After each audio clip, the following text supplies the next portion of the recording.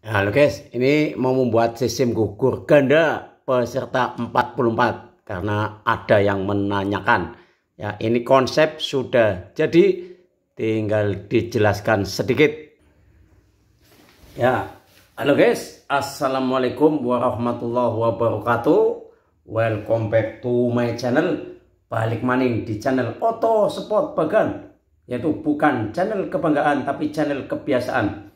Kali ini akan membuat jadwal, memandu jadwal pertandingan yang diminta oleh rekan uh, request yaitu sistem gugur ganda peserta 44. Maka untuk menyingkat waktu, yuk ikuti saja jadwalnya peserta 44. Yuk.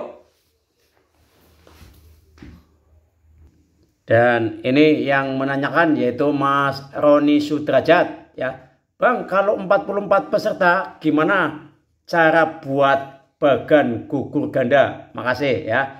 Ya, Mas Roni itu lihatnya di bagan sistem gugur ganda peserta 36. Akan saya buatkan yang peserta 44. Tapi sebelumnya ini dulu untuk Mas Roni atau mungkin yang lain yang membutuhkan jadwal pertandingan untuk sistem gugur ganda. Acuan ya baik gugur ganda maupun tunggal itu peserta harus kelipatan dua. Maka peserta harus 4, 8, 16, 32, 64 dan seterusnya. Yang ditanyakan adalah 44. Maka 44 itu antara 32 dan 64. Ya. Dengan antara 32 dan 64 maka 44 mesti dekatnya ke 32. Dalam artian peserta itu lebih 12. Daripada dipaksakan ikut 64 itu kurangnya 20 kan terlalu banyak ya ada yang lebih dekat yaitu ke 32 maka kita nanti buat baganya 32 ya diikutkan ke 32 maka 44 sisa 12 menggunakan model furonde ya. Jadi menggunakan model furonde model ini. Yuk kita lihat jadwalnya. Dan ini konsepnya Mas Roni yaitu sistem gugur ganda peserta 44 yang muncul satu dua ini muncul yaitu furonde. Maka karena modelnya itu furonde peserta 44 diikutkan ke 32 yaitu furondenya ada 12. 1 2 3 4 5 6 7 ya. Dilihat lagi ke bawah. Kita lanjutkan. Tadi baru 7 ya kan? Maka ini masih furonde 8 9 10 11 12. Pas furondenya 12 ada 12. Maka peserta pas 44. Selesai ya, peserta 44 karena membuatnya sistem gugur ganda, maka nanti ada bagan ke belakang atau bagan e, ke arah kalah. Maka nanti membuat bagan ke arah kalah juga ada furonde lagi ya. Ini ada furonde lagi ya. Maka langsung saja e, sekali lagi tidak ada peserta tapi saya sebutkan nomor pertandingannya karena itu tadi uh, peserta 44 dengan sistem gugur ganda itu ada 86 pertandingan ya. Nanti kita lihat. Tadi Foronde ini angka adalah nomor urut pertandingan. Maka ini Foronde pertama atau pertandingan pertama. Tadi sudah disebutkan sampai 12. Ya kan? Ya, sudah 12 sampai bawah. Pertandingan kedua, ketiga, keempat, kelima, enam, tujuh. Ya, tujuhnya nggak kelihatan. Kita lanjutkan. Tadi ini pertandingan tujuh, ini pertandingan delapan, sembilan, sepuluh, sebelas, dua belas. Selesai, Foronde sudah dimainkan semua ya. Maka kita lanjutkan pertandingan ke-13 yaitu masih ke kanan. Ya, ini masih kanan. Maka yang tadi menang di pertandingan satu main lagi di pertandingan ke-13. Ini pertandingan 14, 15, 16, 17, 18, 19 sampai pertandingan 19, 20 masih kelihatan.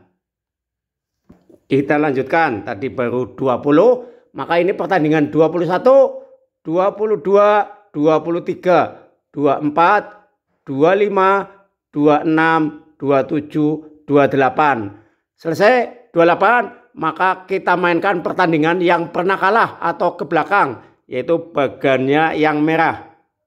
Ya, kita lanjutkan pertandingan ke-29. Dalam arti pertandingan ke-29 sudah ada pesertanya, yaitu yang kalah pertandingan satu ini ya dan yang kalah pertandingan 13. Siapa pun yang kalah di pertandingan satu dan kalah 13 main di pertandingan 29. Maka di pertandingan 29 siapa pun yang kalah sudah gugur masuk kotak. Karena apa? Kalah dua kali ya karena menggunakan sistem gugur ganda. Berarti yang kalah di pertandingan 29 dan seterusnya ya yang bagian merah berarti sudah gugur yaitu kalah dua kali. Maka ini furonde ke belakang ya kan di belakang furonde ke belakangnya juga furonde. Maka jumlahnya juga sama ada 12 yaitu pertandingan 29 30 31 32 33 34 35 kita lanjutkan pertandingan 36 37 38 39 40 ya di sini dari pertandingan 29 sampai 40, siapa pun yang kalah sudah gugur karena kalah dua kali. Dalam artian ini pertandingan 40 berarti yang kalah pertandingan 12 sama yang kalah pertandingan 28 itu main di pertandingan 40 ya. Kita masih ke belakang yaitu yang ke arah kalah. Kita lanjutkan pertandingan berikutnya tadi 40 berarti ini 41. 41 itu pemenang pertandingan 29 sama yang kalah pertandingan 14. Ini lurus ya. Maka di pertandingan 41 sama yang kalah juga gugur ya kan karena sudah kalah dua kali. Maka kita lanjutkan yaitu pertandingan 42, 43, 44 dan 45 tidak kelihatan. Ini 45 sudah kelihatan, maka pertandingan 46, pertandingan 47, pertandingan 48 Selesai pertandingan 48. Sekali lagi berarti yang kalah sudah gugur karena kalah dua kali. Maka kita lanjutkan pertandingan ke-49. Kita lanjutkan tadi pertandingan ke-48 maka ini pertandingan 49. Yaitu kalau pertandingan 49 yang pemenang pertandingan 13 melawan pemenang pertandingan 14. Ya, kita lanjutkan pertandingan 50, pertandingan 51, pertandingan 52 pertandingan 53, 54, 55, dan 56. Siapa pun yang kalah masih main tapi arahnya ke belakang atau ke bagian yang merah. Maka kita lanjutkan ke pertandingan berikutnya setelah 56 yaitu pertandingan 57 ke arah kiri yang pernah kalah. Pertandingan 57 berarti yang main pemenang pertandingan 41 sama yang kalah pertandingan 49 yaitu di sini pertandingan 49 turun ke sini ya yang kalah. Ya, maka yang kalah di 57 berarti gugur, yang menang dilanjutkan ke sini. Kita lihat pertandingan 58, 59, pertandingan 60. Pertandingan 61, 62, 63 dan 64. Ya, masih kita lanjutkan pertandingan yang ke arah kanan yang belum pernah kalah yaitu pertandingan ke-65. Maka pertandingan 65 yaitu pemenang pertandingan 49 sama pemenang 50 ketemu di pertandingan 65 ya. Kita lanjutkan pertandingan 66. Pertandingan ke-67 ini 67 dan 68. Ya, selesai setelah 68 kita lanjutkan pertandingan ke arah kiri kembali yaitu yang pernah kalah yaitu pertandingan ke-69.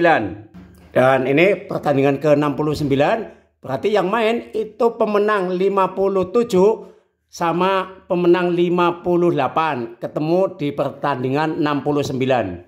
Ya, pertandingan 70 71 72 selesai ya. Dalam artian setelah 7-2 maka kita lanjutkan pertandingan 7-3 masih ke arah yang kalah. Ini pertandingan 7-3 yang main pemenang 69 sama yang kalah 65. Ini yang kalah 65 ya arahnya ke sini. Nah, menuju ke pertandingan 73. Maka selanjutnya yaitu pertandingan 74 yaitu pemenang 70 sama yang kalah pertandingan 66. Ini pertandingan 66 yang kalah turun ke sini. Ya, menuju pertandingan 74. Setelah 74 pertandingan 75 yaitu pemenang 71 melawan yang kalah 67 arahnya ke sini. Yang kalah ya main di pertandingan 75. Terus pertandingan 76 pemenang 72 sama yang kalah 68. Yang kalah 68 main di pertandingan 76. Selesai kita kembali ke kanan yang belum pernah kalah yaitu pertandingan 77 yang main pemenang pertandingan 65 sama pemenang pertandingan 66 itu main di pertandingan 77 ya. Maka yang kalah nanti ke belakang. Dan pertandingan 78 pertandingan 78 yang main pemenang 67 sama pemenang 68 ketemu di pertandingan 78 selesai. Ini tinggal satu. Bahasanya bukan final karena menggunakan sistem gugur ganda. Pertandingan 79 yang ke arah kalah yaitu pemenang 7-3 melawan pemenang 7-4. Sekali lagi yang kalah di pertandingan 7-9 berarti gugur kalah dua kali. Tapi kalau mau diambil urutan juara ya yang kalah di pertandingan 79 adalah uh, juara ke-6 atau urutan ke-6. Nanti ada dua ya urutan ke-6-nya. Yaitu pertandingan ke-80 ya. Yang kalah adalah urutan ke-6 ya. Urutan ke-6-nya ada dua. Maka kita lanjutkan pertandingan ke-81 ya. 81. 81 yaitu yang main pemenang pertandingan 79 sama yang kalah pertandingan 77 yaitu dari sini. Yang kalah arahnya ke sini ya. Pertandingan 77 yang kalah main lagi di pertandingan 81. Dan pertandingan 82 yaitu pemenang pertandingan 80 sama yang kalah pertandingan 78. Ini yang kalah pertandingan 78 arahnya ke sini. Nah, siapa pun yang kalah di pertandingan 82 sama tadi yang kalah pertandingan 81 adalah urutan kelima ya. Yang menang masih main lagi. Maka kita lanjutkan pertandingan selanjutnya ke arah kanan. Yaitu pertandingan 83 yaitu pemenang pertandingan 77 melawan pemenang pertandingan 78. Maka di 83 siapa pun yang menang masuk final. Dan yang kalah masih main ke arah belakang atau ke bagian yang merah. Kita lanjutkan pertandingan 84. Yaitu pemenang pertandingan 81 melawan pertandingan 82. Main di 84. Maka siapa pun yang kalah adalah juara keempat. Yang kalah ya. Karena yang menang masih main lagi. Ya, sekali lagi ini sudah sampai 84 karena rumus menghitung jumlah pertandingan untuk uh, sistem gugur ganda n min 1 kali 2 karena peserta 44 kurangi 1 43 kalikan 2 86 jadi yang jelas nanti nyampe 86 pertandingan. Sudah 84 berarti masih kurang 2 pertandingan lagi yaitu pertandingan ke 85 85 mungkin ini istilahnya kalau sistem gugur adalah semifinal karena yang kalah di 85 itu juara 3 ya yang kalah di 85 juara 3 yang menang berarti masuk final. Berarti pertandingan 85 yaitu pemenang pertandingan 84 maka di sini perlu jeda atau istirahat. Sama yang kalah pertandingan 83 ya yang kalah pertandingan 83 tadi yang dari sini ya ini arahnya ke belakang. Ini 83 ya selesai yang kalah di 83 sekali lagi adalah juara 3. Maka yang menang menuju partai puncak, partai final. Ini pertandingan final 86 sesuai dengan rumus tadi. Yaitu pemenang pertandingan 85 melawan pemenang pertandingan 83. Sekali lagi di pertandingan 86 walaupun final ya harus sudah dibahas sebelum dimainkan atau di TM bahasanya karena mengacu pada sistem gugur ganda, maka kalau yang menang dari posisi pemenang 83 selesai. Karena yang dari 85 berarti sudah pernah kalah dua kali. Tapi andai kata di final atau pertandingan 86 yang menang dari tim atau peserta yang dari pertandingan 85, maka yang dari pertandingan 83 itu baru kalah sekali. Ya kan? Padahal menggunakan sistem gugur ganda maka bisa saja ada partai revan yaitu final ulangan atau pertandingan 87 ya. Mungkin seperti itu. Dan untuk mengingatkan kembali ya ini patokan peserta 44 tadi diikutkan ke 32 maka modelnya full ronde. Ini model full ronde. Ya, ini yang menanyakan by Roni Sudrajat. Terima kasih. Jangan lupa di auto spot bagan.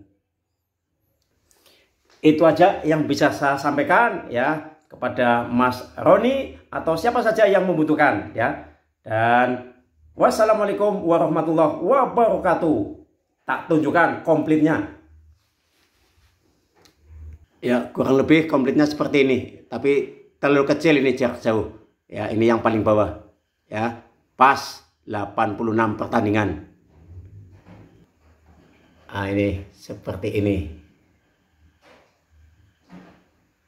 Ini udah komplit sampai pertandingan final. Terima kasih.